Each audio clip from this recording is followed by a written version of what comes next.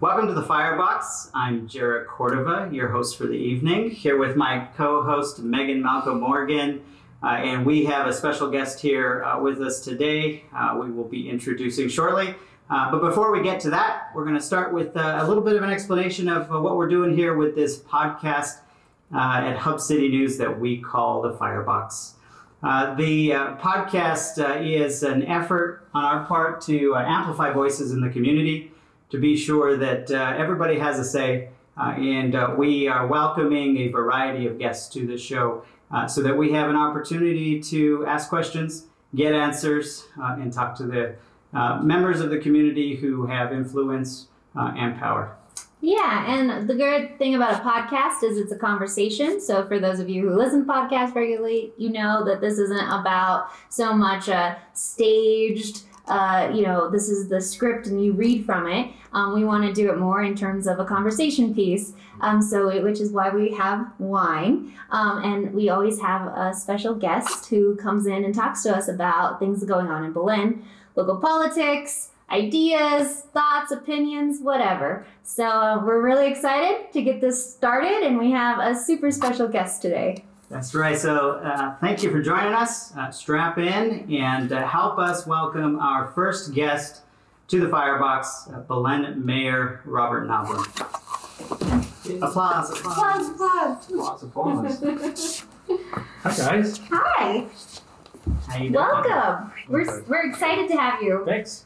I'm excited to be here. Absolutely. And uh, you know, as, uh, as folks in the, the community may recognize, uh, you know, obviously Hub City News is not uh, go easy on this guy. Uh, and uh, I really do appreciate you being here today, that you're willing to sit down, have a conversation. Uh, and I think that what's important for folks to recognize at all times is that we're all here for the betterment of the community and, and to, you know, get those, those forward moving uh, progress, projects, uh, all of the things that we need here in this community that'll just make it a better place for folks to live. Absolutely. I agree. I agree. Yeah. Thanks for having me. So to get started, um, you know, obviously you have uh, been in office now for uh, almost a couple of years, just uh, you know, three months shy, I guess, at the end of the year. Uh, but uh, you know the uh, the and I think this is true of, of anybody who comes into public office, any position uh, whatsoever. I mean, heck, it could be a new job. There's a lot of uh, adjustment that takes place mm-hmm. when you're first getting started, uh, and there's a lot of learning to do. Um, and so I'm kind of curious to, to hear a little bit from you about how your experience has been in, in the first couple of years in office uh, things that maybe you uh, didn't expect that you've learned, um, and uh, just how things are going for the city of Belen. You know, I I, uh, I thoroughly enjoy being mayor. I do. Do you? There are frustrations that, that go along with I think any elected uh, position, um, and really this first two years has been spent learning the, the, the workings of city government, all the departments, how things uh, transpire between a governing body, a mayor, and a council, and how that's then translated to the city manager to put into action, uh, and then the respective department to make it happen. And this incredibly slow process we call government has been uh, the biggest frustration because we all have things that, that we want to see done, that we want to see changed uh, for the better and you, you, begin to make those decisions and you try to find the funding or the funding's not available the funding is available maybe we'll get it next legislative session maybe we won't mm-hmm. and uh, so it's been a learning curve for two years of really how it all works how it all comes together mm-hmm. uh, and, and we've had during that two-year time you know some transition in in uh, in city managers and fire chiefs so you have to try to adapt to maybe the way that they wish to do things and, and kind of make this all work to, to better Belen. Mm-hmm. Absolutely, yeah. You know, when uh, you had the luxury, as as I did as well, to get an introduction to government by uh, starting on the city council.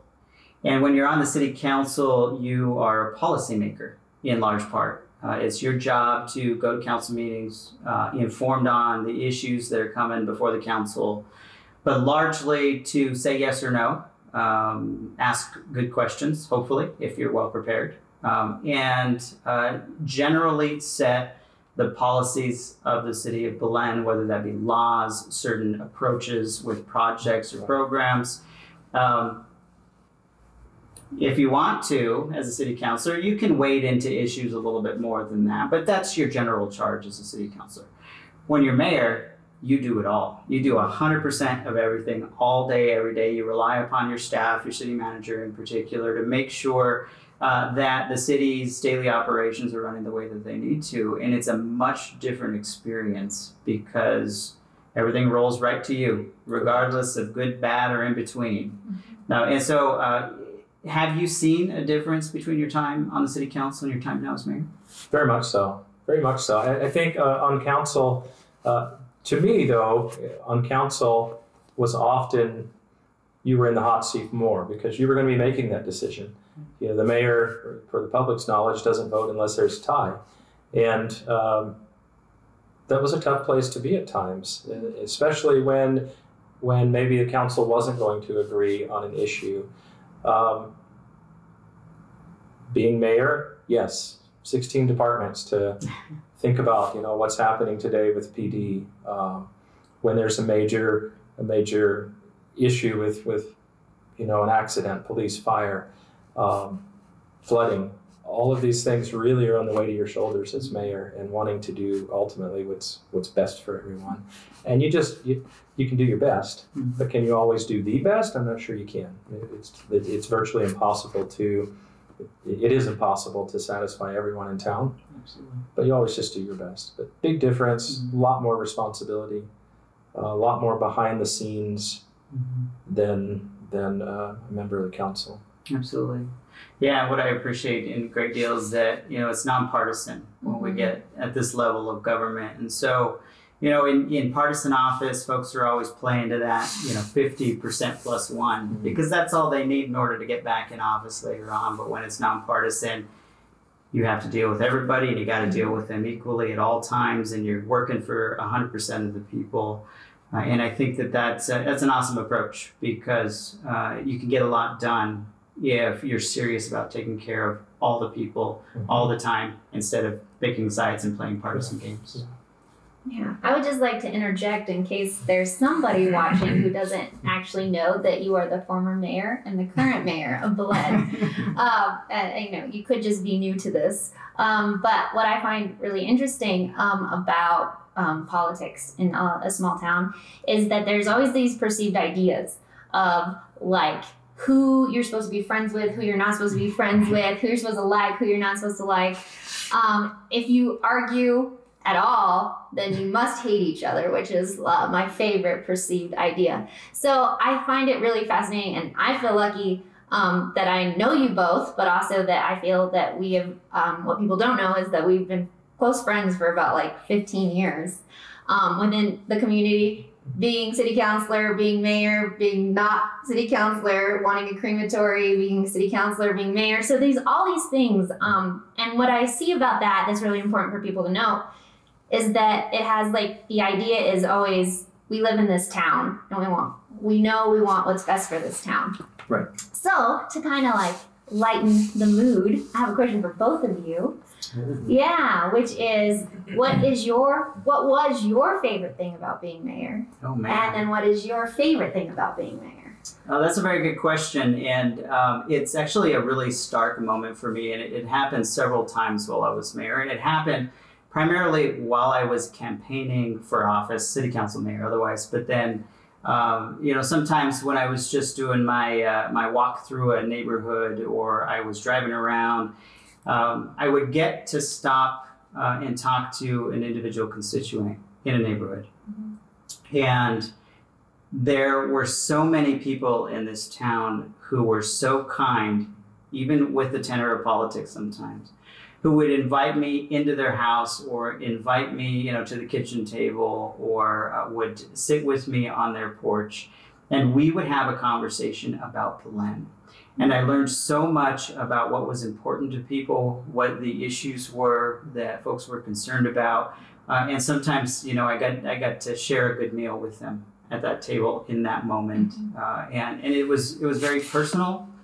Um, but it made you uh, connect with constituents in a way that you know I don't think you get to do if you're mayor of Albuquerque or you're president of the United States. You don't get to just walk around and talk to folks uh, in any neighborhood uh, the way that you do in a small town, and so that was really special to me. But it also helped me shape how I was a mayor. Yeah.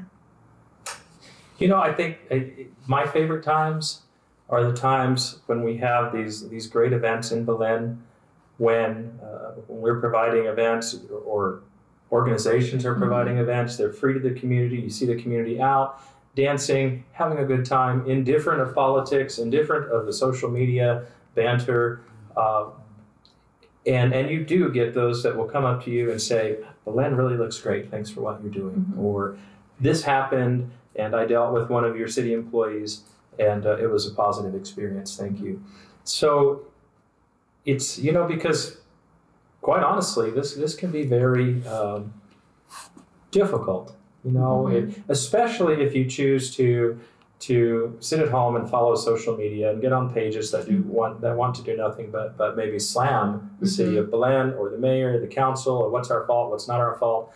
Uh, it can be very frustrating. It's very heavy to carry that uh, oftentimes. Mm-hmm. But when we're in public, when we're at an event, and everyone's just having a good time, and we're just being Belen, and we're just mm-hmm. having fun. To me, those are the, the, moments that make it worth it. Yeah. Those are my favorite moments when we're together as a community. Right. Yeah. Those are the moments that make a community. Absolutely. Yeah. yeah I can see that too. And, you know, it, uh, it, it's kind of interesting because I feel like there's, like you're saying, there's sort of like an online reality that probably isn't reality. sure, sure. Um, and then there's real, like mm-hmm. us sitting down right now and having yeah. a conversation, a conversation that is much different, I imagine, than what we sometimes see. And, and we, um, we talk about this quite frequently because there are, you know, there's Hub City News, but there's also good stuff about Belen, and there's all these pages, and and sometimes it's very community oriented and it's very helpful to the community and other times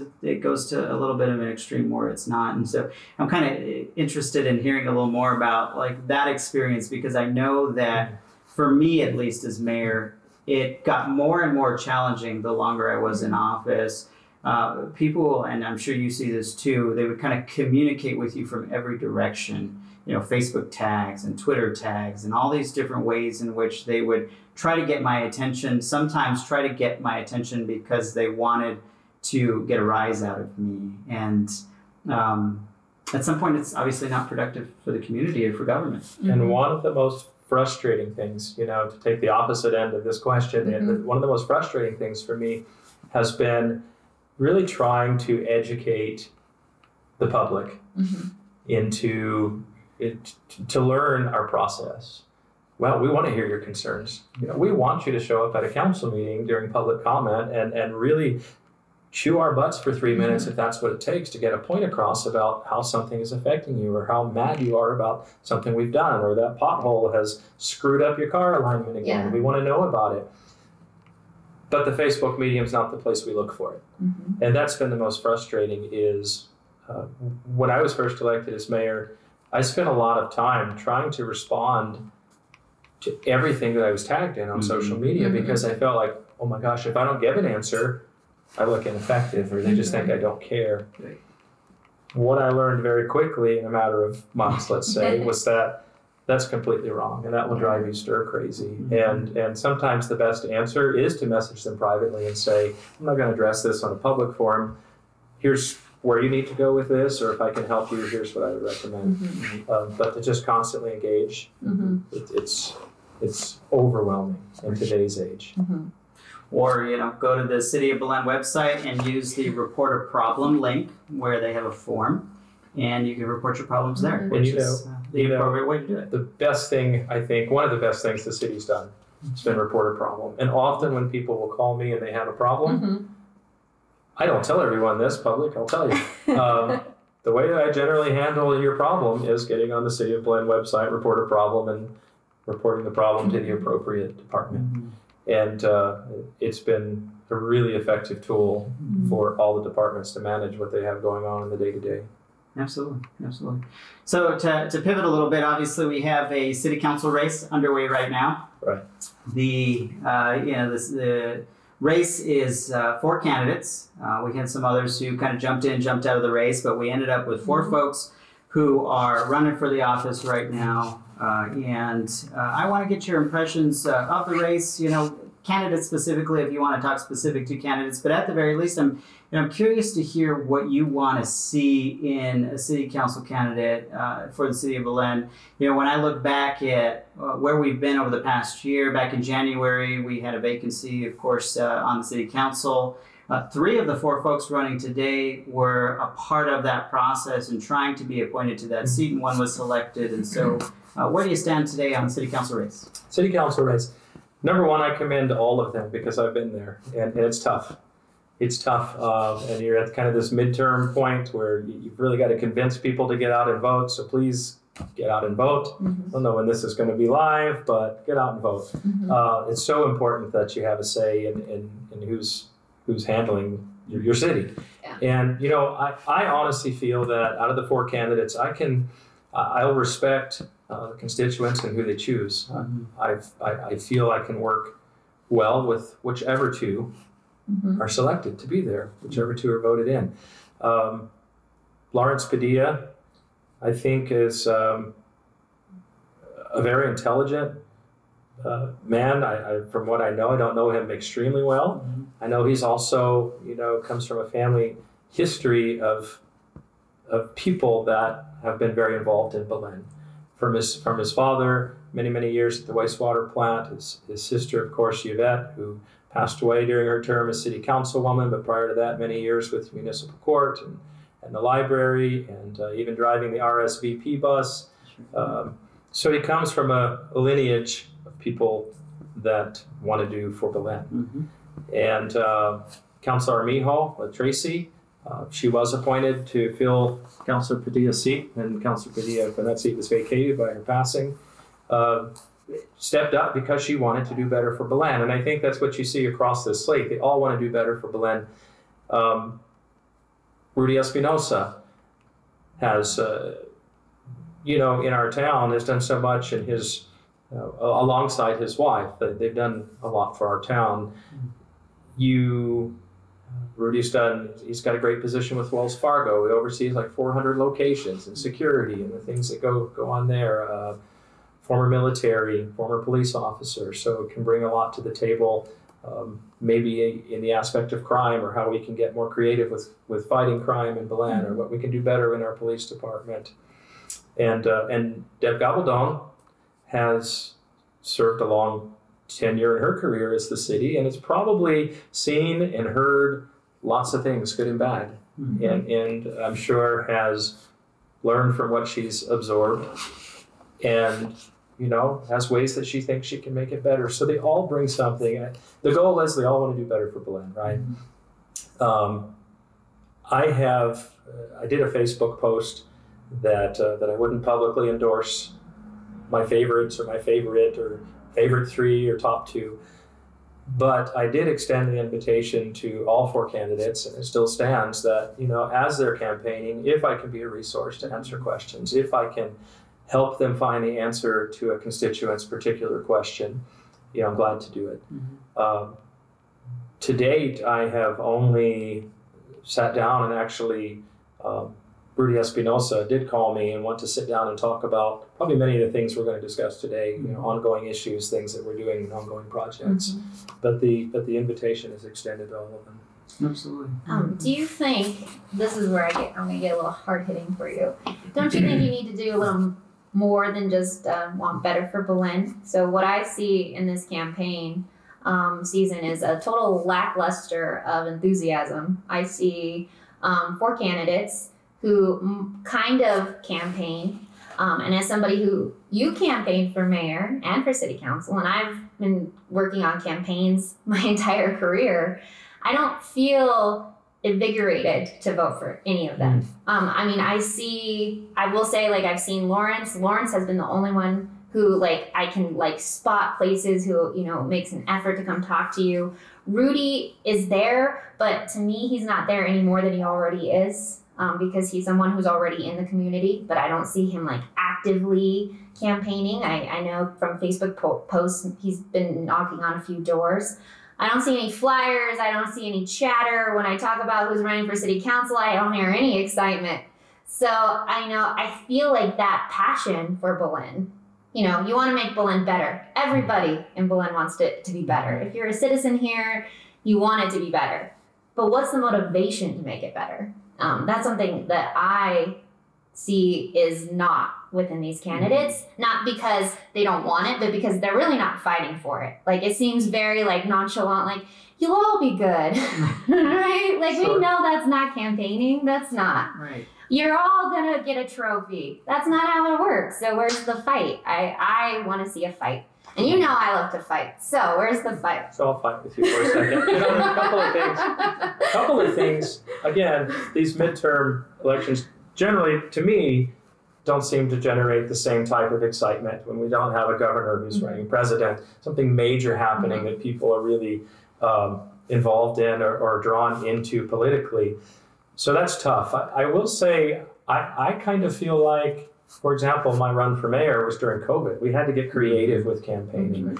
Uh, we couldn't go knocking door to door because nobody wanted you near them. And uh,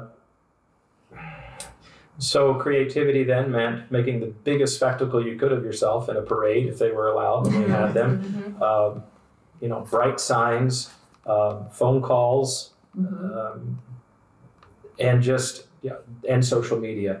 I haven't seen as much from any of the candidates Mhm. that I'd like to see on social Mhm. media, even even a simple boost of a, an ad or a thought. Um, so I'm not going to disagree with you at all. I'm not going to disagree with you. Um, I, but I'm also not going to say that one is doing better than the other you know, Yeah. in this in this race. Mhm. And Yeah. I still stand by the fact that I, I feel as though I can work um, can work with any of them. Mhm. You know, based on the two that I that, that are currently there. You'll have to. Well, have a Let's just say this, my, from what from what I do know from the 4 Uh-huh. uh, if that intention is is genuine to do what's best for Belen, Mhm. and that's our goal as a as a governing body as a whole, then okay. I mean, we, we have this shift, uh, and and we continue forward. Absolutely. Yeah, I agree with that too. I'd like to see more from the candidates. It's uh, it's well past time. You know, we've got uh, it's just a few weeks left of the uh, election of, of the race, and um, gosh, I yeah, honestly, other than Tracy Armijo, um, I don't know what they stand for. Uh, and I want to know what they stand for. And I think you're right. It can't just be as generic as I want better for Belen because everybody does we need to know what your issues are, what you're going to focus on. You know, are you, are there particular projects you're going to work on, programs that you want to put forward? How do you view the condition of the city, and what areas of the city need more attention, and how you're going to work toward that? I think in the past we've had candidates who have stood very strong for issues. I could look back at a variety of candidates. You know, Wayne Gallegos, he was always Mhm. flood control. You knew he was going to stand up for Mhm. that. Frank Ortega was always going to be veterans and veteran memorial. You knew that. I don't know what these candidates represent. Yeah. Right, right, and, and that's a fair, that is a fair statement. And and uh, Tuesday night's forum, Tuesday six p.m. Uh, you know, maybe we'll hear more about their platforms. Of course, it doesn't give a lot of opportunity for for debate. Right. um, more of a Q&A type situation, but hopefully we'll learn a bit more. Uh, Mhm. and, and I agree, it's not all about what's better for Belen. I would like to hear from some of the candidates, candidates what they don't like that I'm doing. Sure. Mhm. You know, because again, Mhm. if we're going to have two there, Mm-hmm. um, what is it that they don't like about the mayor? Yeah. Absolutely. What's that they'd like to, to try differently that I can institute in, in, in the way, even that we run a meeting or something? You know, what's the what's the opinion? Mhm. Haven't heard it. We, we don't want Stepford wife candidates. That's So right. That's right. I mean, I, I think that is what we kind of have. This, I feel like people are in this kind of mode where they're afraid to say what they stand for. So they hold back a little bit because they because there's been so much backlash in the past Mhm. four years, two years of city councilors um, like Councilor Bernal, who says something, and every time he says something, it doesn't matter if you agree with it or you disagree with it, somebody's going to attack it, right? Um, and he's been very bold in his statements. So I feel like that there's this like move of like let's just not say anything till we get in, and I I think that that um, I don't think that's the way to run a city. I just I think that it's the boldness that makes the people want more. Mm-hmm. Absolutely.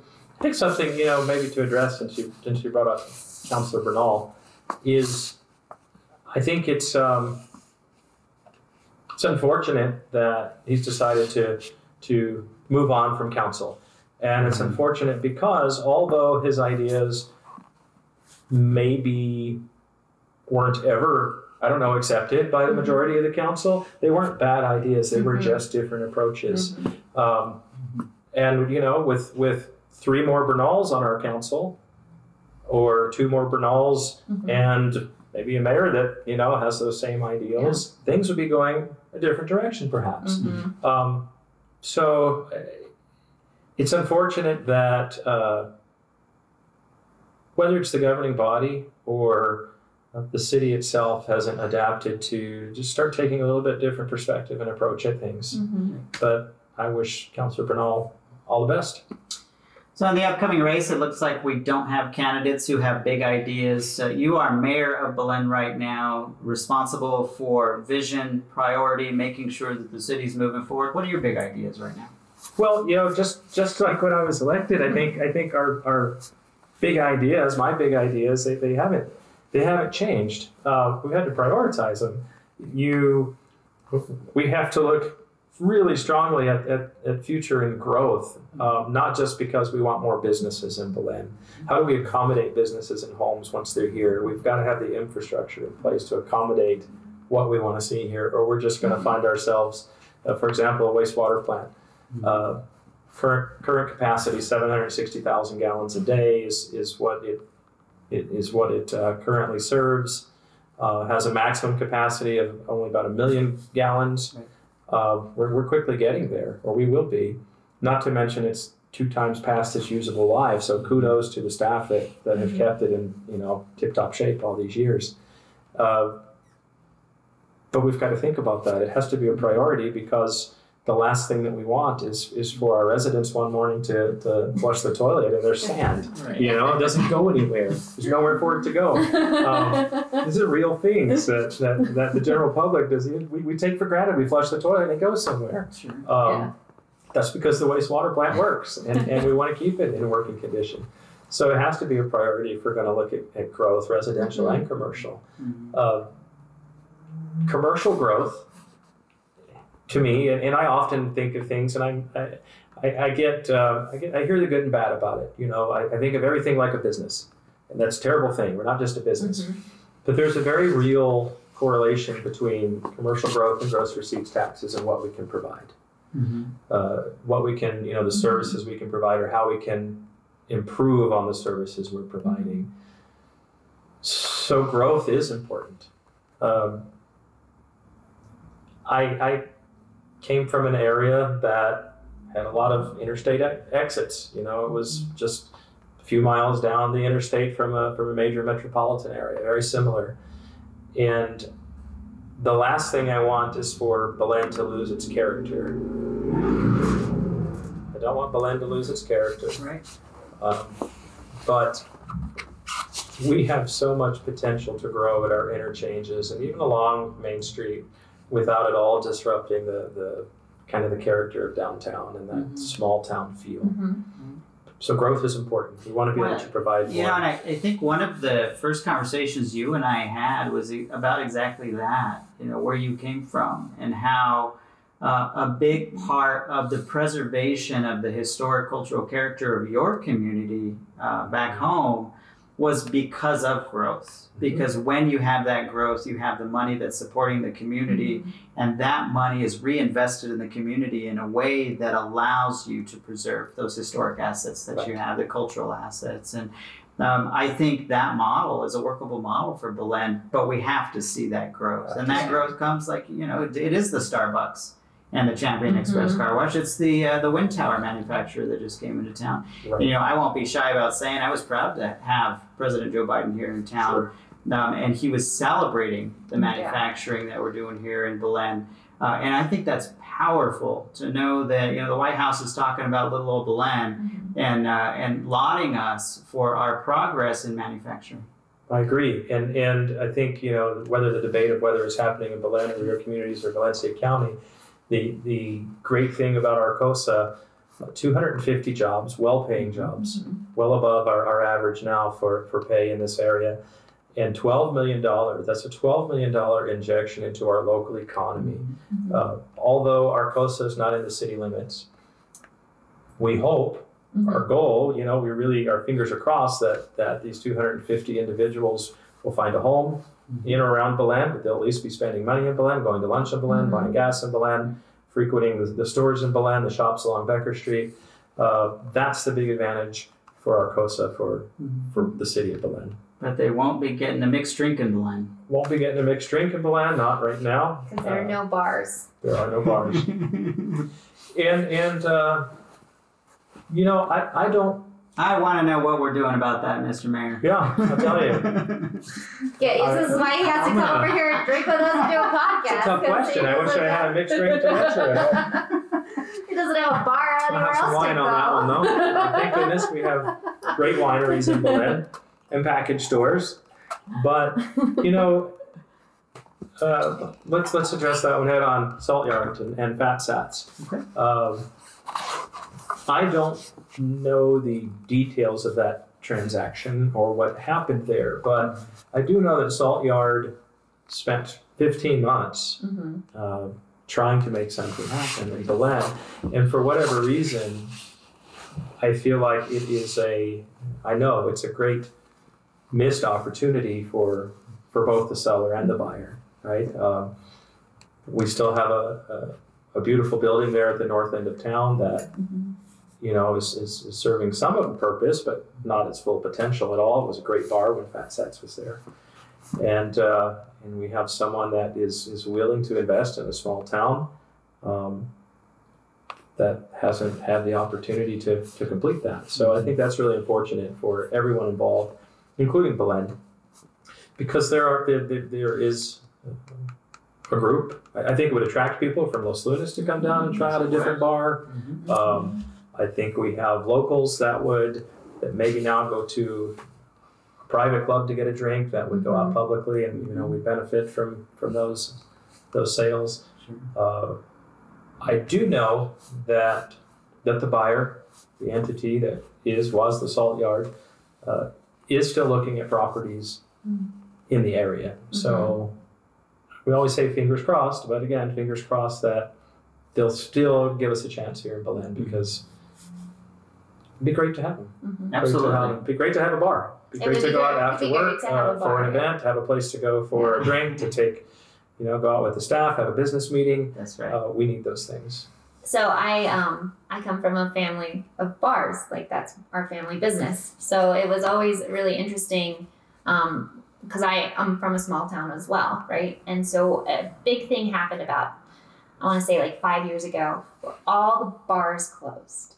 And they thought that was the end of the town, right? Because that meant that there weren't people to support those bars and there weren't people going out. And so if the bar closes, then that's like huge for the community. What does that mean for a community? And so I kind of have a similar mindset. It says something about a community that can't go out and gather um, Sunday through Wednesday, right? Um, because and then Thursday, Friday, Saturday we have our great local wineries, but but that and that we pack them, right? We pack them and the and the brew.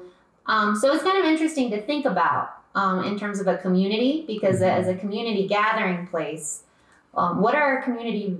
I don't want to say I don't want to use words like values or anything, but what is our community like connectivity that we can Mhm. go where you could go sing karaoke and everyone loves to hear you sing, right? Where do you do that now? And so because you can't, there's a part of that that's missing in a community that I think we should just mm-hmm. pay attention to. Well, and I think anyone looking to move to an area, mm-hmm. you know, there's a large segment of, of the population that's going to say, what's What's there to what's do? there to do in this Yeah. town, you know, and maybe for or that segment is where's there to go have a drink in this Yeah. town. Um, right. Yeah. So it does affect a lot. It does affect a lot. Uh, you know, we we are as a city now trying to um, replace, find a replacement for the gentleman who was wearing a lot of hats when, Mhm. when he stepped away from Parks and Rec and was just really getting into into economic development. And I have expressed the want to have someone that strictly focuses on economic development. I think I think we're at a point now where just like campaigning, we've got to get creative in marketing Belen. We Yes. have to uh, be attending business conferences. We have to be attending these franchise Mhm. conferences in Vegas that they have quarterly, where there are literally hundreds of business looking for somewhere to put to set up shop. Sure. Um, we've never, I don't think, appropriately marketed ourselves or gone out and, and just tried to grab it by the horns and bring it in. Right. Yeah, I think that's largely true. I mean, I know that uh, when I was mayor, going out to um, commercial developers and investors and business owners uh, outside of Belen, Los Lunas, Albuquerque, maybe further away, uh, there were a lot of folks who had a negative opinion of Belen as a small town, maybe high crime, maybe um, sometimes not um, the uh, you know the, the highest income level Mhm. that it needs to be. You know, some of those statistics are really against us in, in that sense, and so that it was very difficult um, initially to convince folks because they were almost immediately dismissive of Belen, Mhm. where they didn't see it.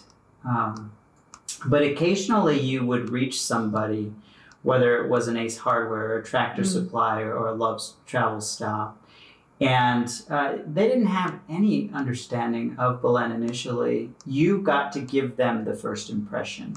And if you could give them that positive impression right off the bat, they were more likely to come in. Uh, and so, you know, what I would always tell people, and I think it's true today, is, you know, in our community, we can have the tough discussions. We can say, oh man, this mayor sucks because he closed down the last bar in Belen, uh, which isn't true, by the way. But you know, we can say we can say things like that in our community and have these tussles and these fights. But when we get outside of Belen, when we go to Los Lunas or we go to Albuquerque or anywhere else, we need to be 100% behind Belen because that's the only way we flip the narrative to the positive and that we can attract more of that commercial attention to our town. We can be the best advertisement, or we can be the worst for Belen. Mhm. And uh, and again, I think if you just if, if I were a business looking to invest, and I'm on uh, social media, and I type in Belen because I want to know something about Belen, and let's say I find the good stuff about Belen page or uh, the not so good stuff about Belen page, and I start, you know, doing my research just to look at posts and the community's input. Um, I don't know that I would invest in Belen. Right. Uh, that that impression, you're so right. That impression, Mhm. sometimes a lack of pride, this apathy towards Belen's never never going to change, Mhm. nothing ever going to change, uh, is detrimental to to us and growth. Absolutely. And I will say one of the, the most important things I think you've done as mayor in your first two years is push back on the negatives, the pessimism, the criticism of Belen. Because there have been times you've put, you know, social media posts out there and you have said to the public uh, that they, you know, let's let's calm down a little bit. Let's remember we're all in this together. Correct. Mhm. Correct. And and I'll also say, I've I've I've been there. I, I, I came here as a gentleman that Right. just wanted to, Mhm. you know, to, to follow my dream, to you know, to have my own business, and I and I chose Belen. Belen chose me. I often say, and and here we are, um, 18 years later, and it was tough. But what I learned was negative attitude wasn't going to get me anywhere. You know, I had this dream, I had this vision that went beyond, you know, the people in my ear that you're never going to do well or this is never going to work, you're going to mm-hmm. fail. And I was looking to the future, and we just have to continue looking ahead to the mm-hmm. future. And, and I see great, I really see great things in, for Belen, whether that's during my term, whether it's, you know, still 40 years out Mhm. we have to always be laying foundation to make Belen better. Yeah. So we're getting more manufacturing jobs. We're getting coffee. Starbucks is coming in. We're getting maybe two automatic car washes. It sounds like definitely Champion Express is coming in. And uh, I'm, I'm curious uh, whether or not you could break any more news, or is there anything else you know that's coming in? Or, you know, kind of on the flip of that, Now, what do you hear from people that they want to see in this town that, that isn't already coming? Well, now that Starbucks is coming in, we hear a lot is they want to see a Dutch Brothers. Okay. The Dutch Brothers, if you're watching, find you a spot. I, I, I will I will take you out and show you some spots.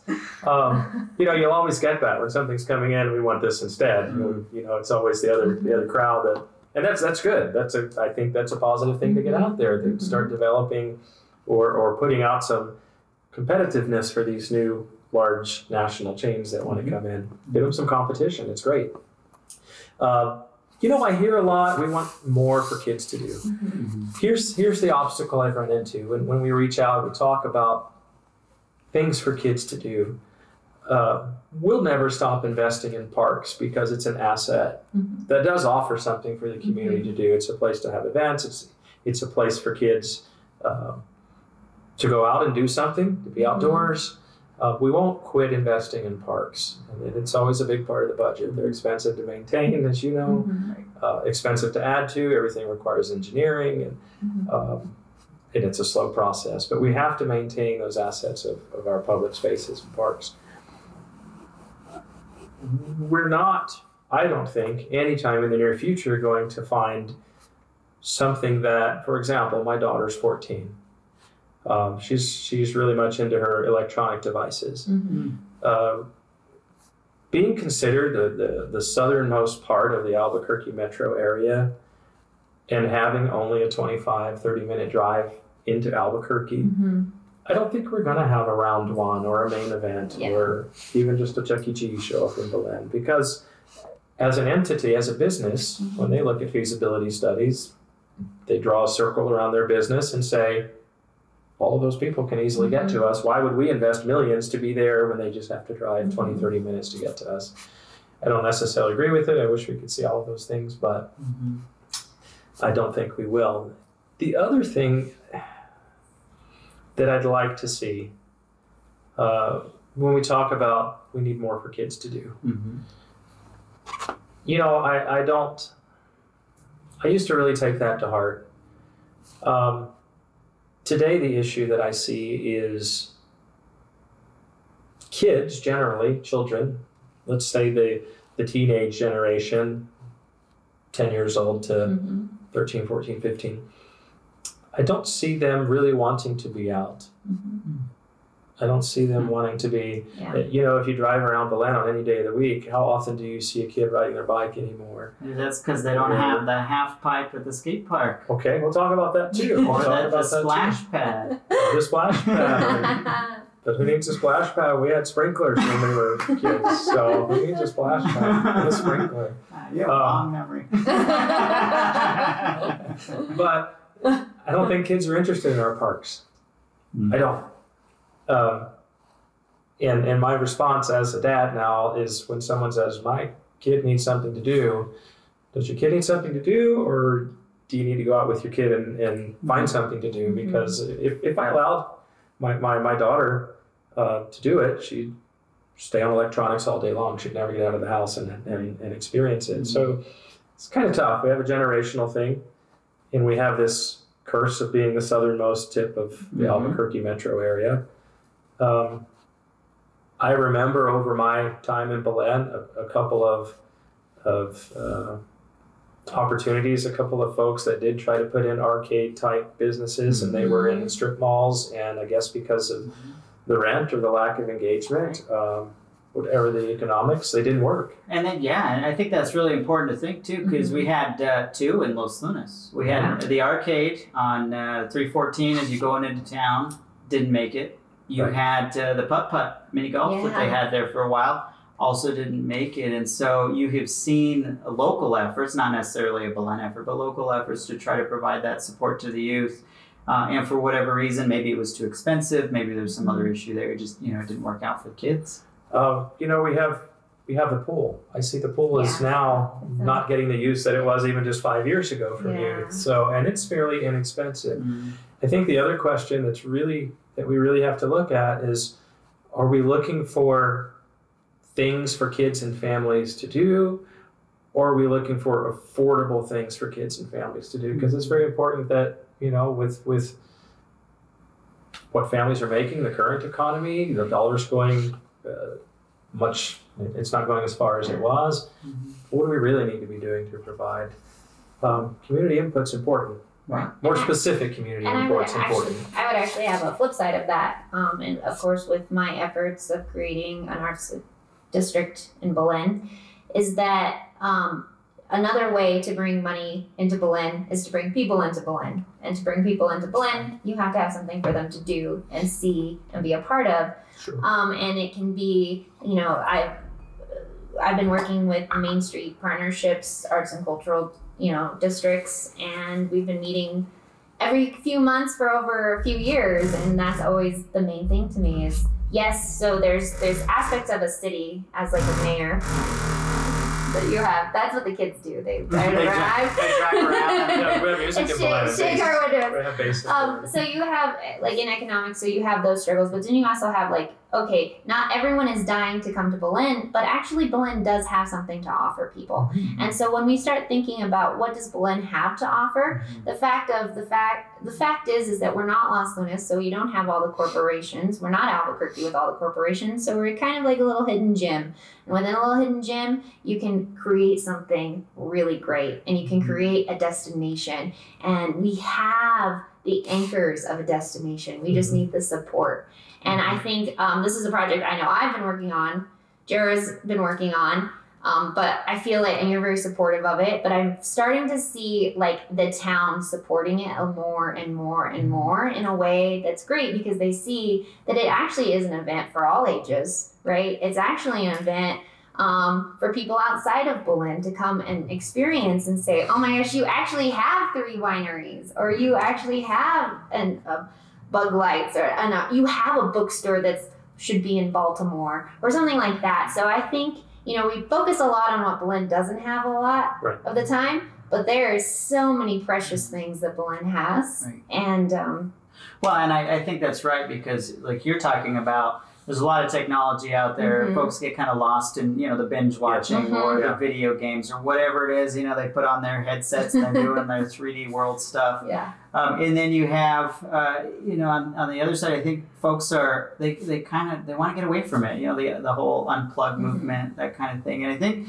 the future of economies is going to be largely built around experiences. Mhm. And experiences is food and drink and entertainment and maybe art and beauty and sports. All these things that allow you to interact in a way that you can't get out of the Mhm. technology. Right. Yeah. Right. I was in, in uh, early this year. Took a trip to Las Vegas, and it was the first time in the many trips I've taken to Las Vegas that I actually went downtown to Fremont Street. Mm. And I said, as I was on Fremont Street, "Oh my gosh, why don't we have a zip line from one end of Becker Street to the other?" So really, it's a matter of how creative are we willing to get? How much is it going to cost? What's Yeah. the liability? Let's think about that in, in today's world.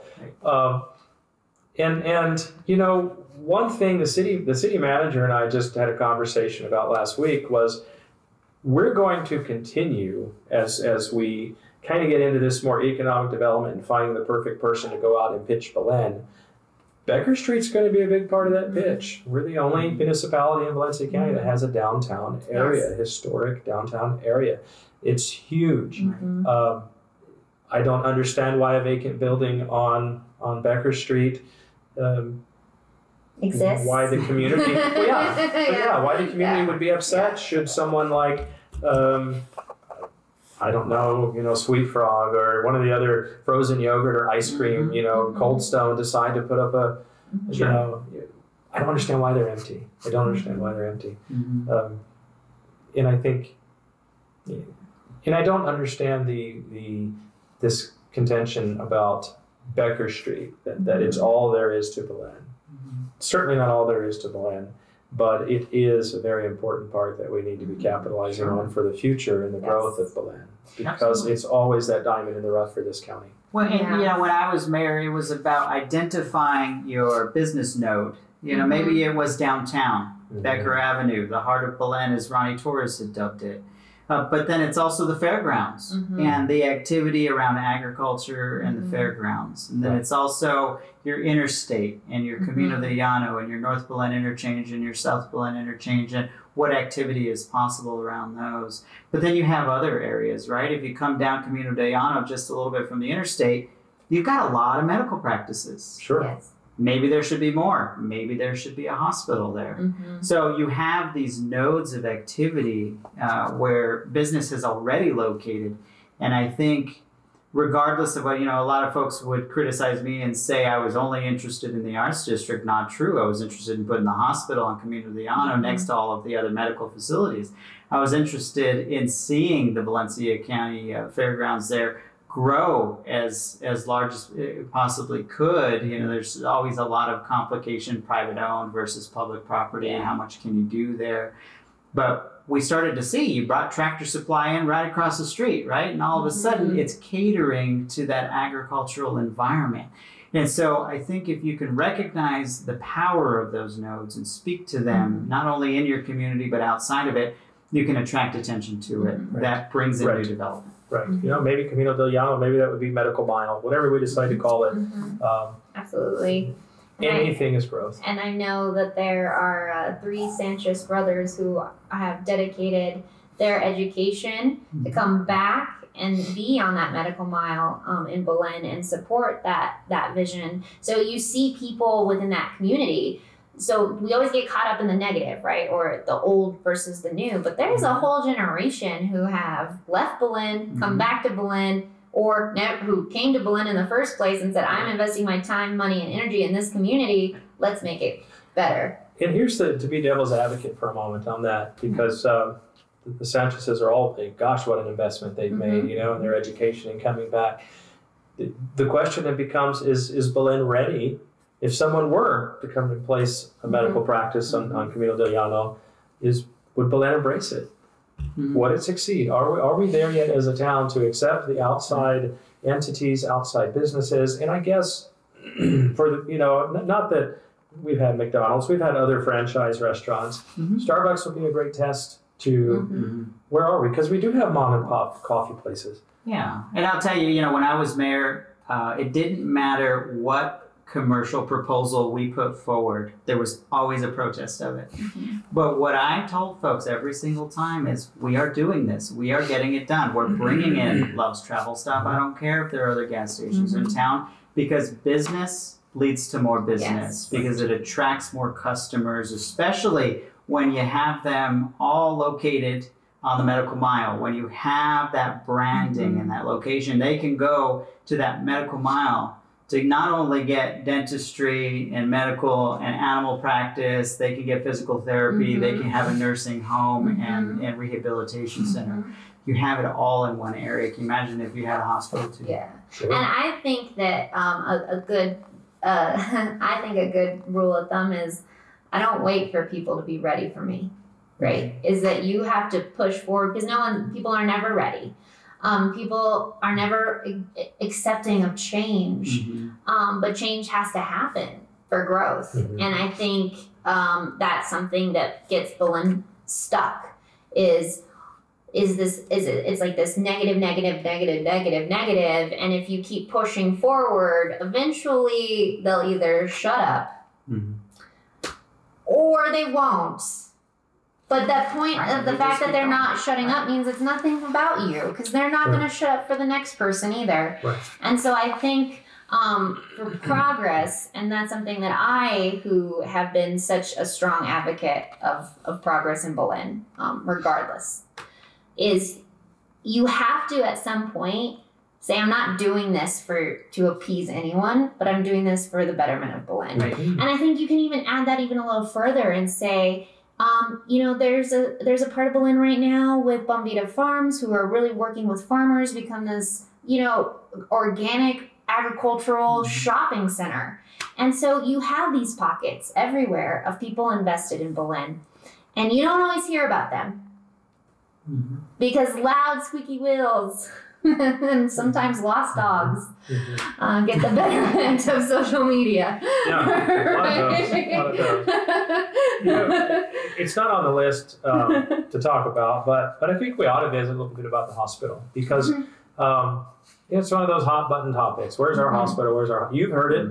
Uh, I, I've, I've heard it since like 2006. Here we are. I've heard it since yeah, I've heard it since I moved to to to Belen, Valencia County. Uh, you know, the facts are obviously it's in the hands of the county commission. It's in the hands of the county commission because Mhm. Belen and Los Lunas could play nice in the sandbox always about where it should be. Mhm. And uh, to save everyone probably what we thought was a lot of time, which it's not really saved a lot of time, but a lot of a lot of time and energy with the legalities of, of that.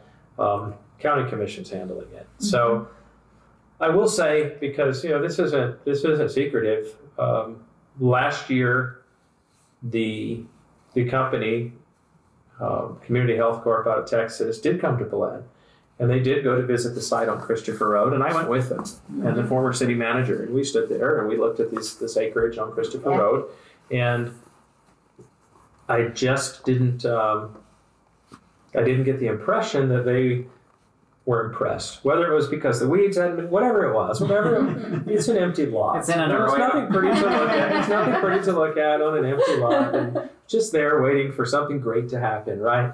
Uh, I just didn't get the feeling that that they saw it there, and so on a whim, again, unscripted, unrehearsed, I, I said to the gentleman, "Can I show you some other properties?" And we went to the North Interchange, Mhm. uh, and I just basically, near Tractor Supply, pointed north and said, Guys, all this property either side of, of this frontage road Mhm.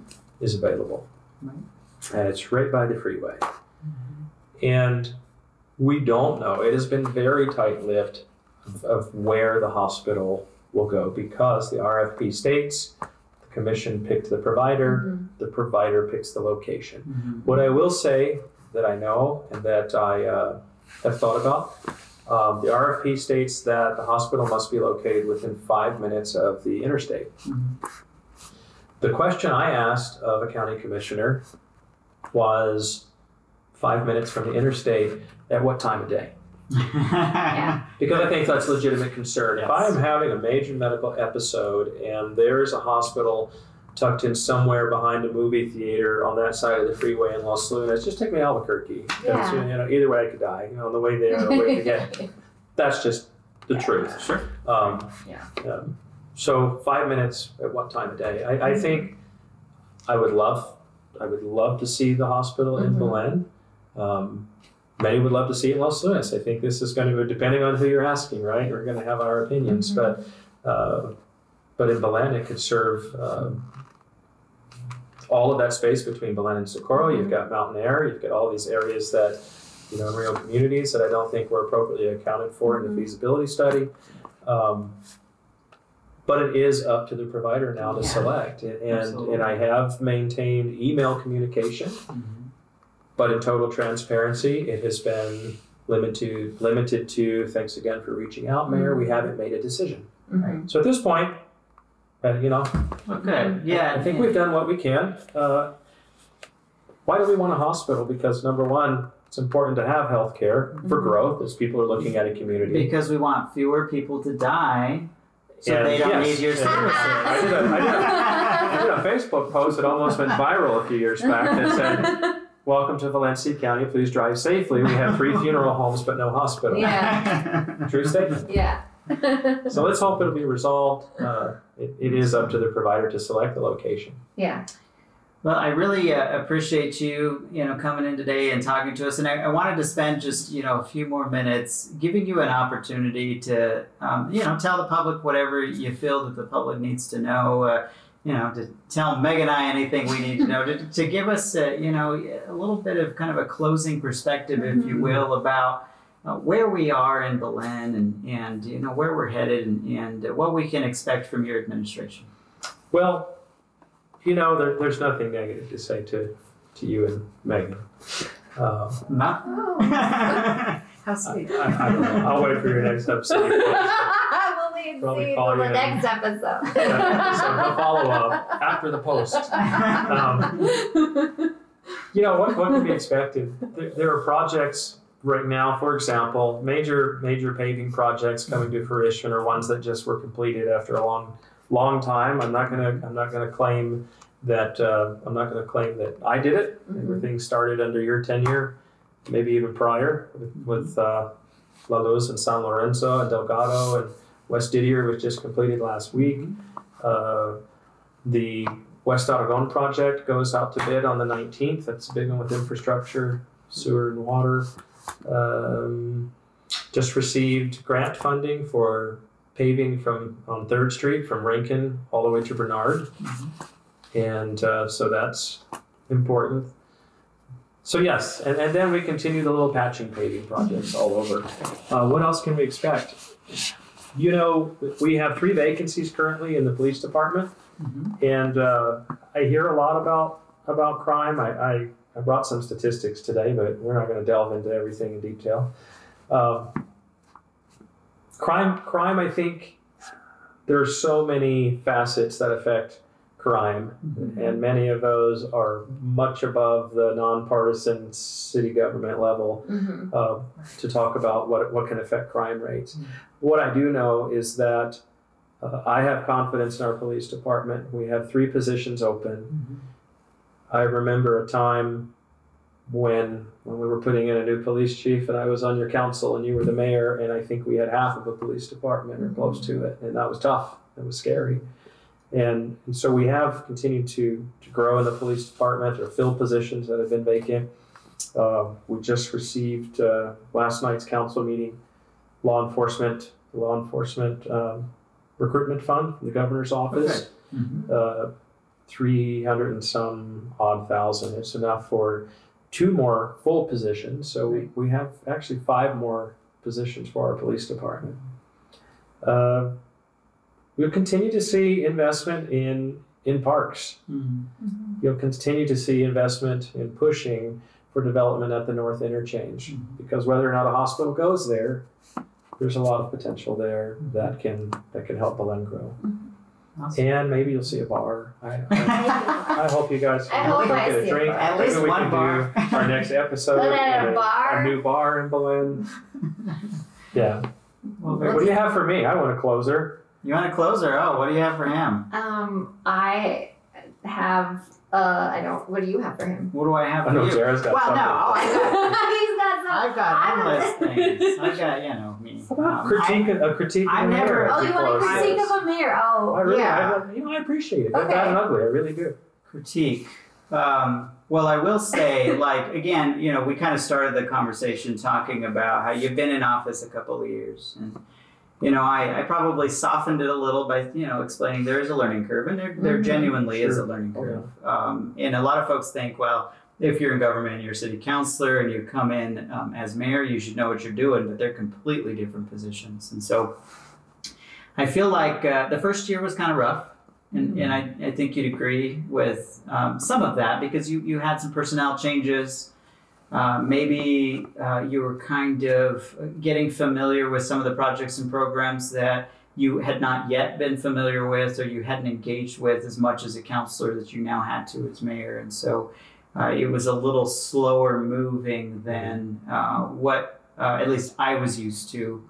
Uh, and maybe some members of the public were used to, um, because you go from a two-term mayor who'd been there eight years and, for the most part, knows everything about everything, uh, to somebody coming in who's fresh and has to learn a lot of that stuff. And so I think the first year was rough, but I will say I think that the the second year has gone a lot better so far. Um, you know, I can remember a time, and I'm sure Clara wasn't too happy about it, but uh, where it was late in your first year there, uh, and every single week in the newspaper, negative headline, negative banner headline about the city of Belen, about things you were doing, the city was doing, and it, it started to ruffle me because you know that I think what I what I put out there on Hub City News is you know that it's the Valencia County News Bulletin. It's not the Belen News Bulletin. Mm-hmm. And trust me, Belen isn't the only one that's having a problem. Mhm. There are problems all over this county, and they all Sure. deserve to be covered. And and, and so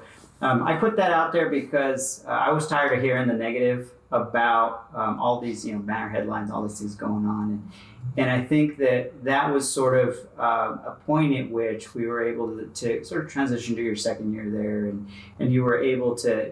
You, I think you kind of recognize that too. That maybe we needed to change the tenor of the conversation, and we needed to Mhm. uh, get more information out to the public. And I noticed at that point, like things sort of started to step up. You were communicating with the public in, in a more active way, but a different way uh, including leveraging the tools and resources of the city of Belen to do that. And I thought that was very helpful because, you know, ultimately the public wants to hear from you. Mhm. And I know that it can be difficult sometimes, like you're saying, to uh, get on social media, answer questions, to sit down and have these conversations where, you know, coming into it, you may not know what to expect. And, you know, it, it could go the wrong way because we could come in and we could be ready to fight um, instead of. I was a having little ready to fight, and then I realized there was no. I thought we had a very pleasant, Very disappointed. I thought we had a very pleasant conversation. Yeah, but- absolutely. but you know what I mean? Like, I think that that sometimes as a, a political figure, as a public figure, you get a little hesitant. Mhm. Um, and I could see that in your first year where you're kind of filling things out, and then I think you kind of came in a little stronger in the 2nd year. And so, I I like where you are as a mayor in year two, and I feel like you have the ability now, having the knowledge of the projects and programs, having a handle on staffing. You know, you are in year two creating the staff that you want. You're not just relying on my staff. You're creating the vision that you want, not just relying on my vision. You're building the projects and programs that you want, not just waiting for my money to mature so that you can use my money and get those projects going. Now, there's probably some that's still lagging, but you know, for the most part, the city is becoming your city, uh, and I think that's really powerful. And I think you know, in this end of year two, start of year three, seize the moment because you have the next two years to leverage all that you've learned, all that you have uh, begun to build to really see the fruit of that labor. Uh, and it's coming if you want it. And so I would encourage that. Thank you. Thank Yeah. you so much. I got no fight. I've been I've been trying to come up with a fight, and then I was, like, I was like, I'll just call you later and we'll fight. I want, I, I do, you know, in, in closing this out, I enjoyed this. Thanks for the firebox. Yeah. Um, I, I think it's important for the public to know that, that I am available, I am Mhm. accessible, and I'm approachable. Yeah. And, and ultimately, all of us, Yeah. all of us that, that participating today and will participate in the future, Mhm. want simply the best for each of you. So Yeah. let us know what that is. And and uh, for something out there that's not so good, you know, I Mhm. I probably won't pin it down on social media finding it, you know, Mhm. but Mhm. reach out to me because we are glad to address it. Absolutely. Yeah, and I think um, I think it's always good for people to see that like what really matters is conversation, and that people need to communicate, Right, um, and right. that you can put a nasty little thing on Facebook and leave it there, um, and then there that's the presumption that's like how everyone perceives how it is in real life, but that's just that's not what it is, No. and so I Mhm. think. Um, what's made us and you know including danny and including other people very passionate about Belen and able to communicate and, and, and have conversations that are sometimes heated, but always coming back to the same situation of there's a mutual respect for each other. So when you respect people, you feel comfortable telling them how you feel and what they're doing. And I think um, that is the really the root of all success is respecting each other. Mhm. And I think um, that's how we move forward is with respect. Absolutely. Yeah. Well, thank you again for joining us. We appreciate Thanks. I you Thank you. I enjoyed it. sitting in the hot seat and uh, you know here in the firebox and, and letting us ask you the Yeah. tough questions and answering them and, and hopefully uh, you know you'll join us again sometime in the future. Yeah. Sure. Thank you. awesome. Awesome. Thank you. Thank you for joining us. Thanks. Good night. All right.